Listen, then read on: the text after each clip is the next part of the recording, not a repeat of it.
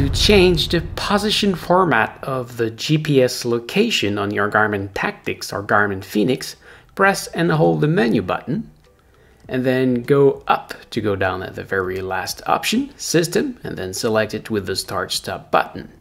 Then go down to Format and go down to Position Format.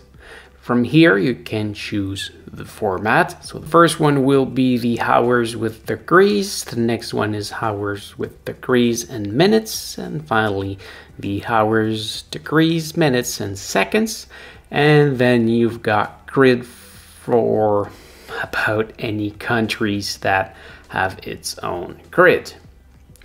Then, if we go back here, you've got the datum. The default one that is used pretty much everywhere in the world is the WGS84, but if you want to use another one, well, there is a lot of options.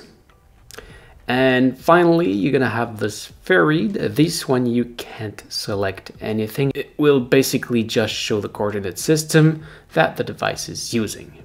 So if, for example, I switch this one to WGS72, it's gonna show WGS72. And if we use, for example, the Zanderij,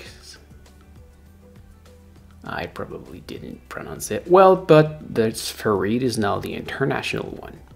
So probably you will want to stick with the WGS84, but if you want to change it, well, do as you wish.